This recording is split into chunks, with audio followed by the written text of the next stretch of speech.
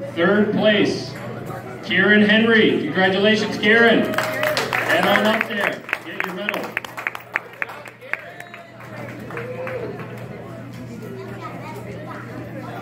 In second place for the Wolf Den, Gabriel.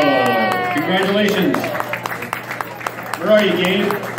Gabe, head on up over there by the trophy table. Get your medal. Where's John Paul? Sitting down. JP. So humble. Look. Fastest time in the Wolf Den. You all right over there? Just gonna keep the camera on him. Yeah. 3.08. John Paul.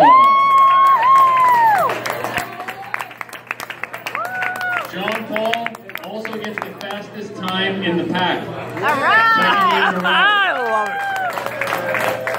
Nice job, John Paul.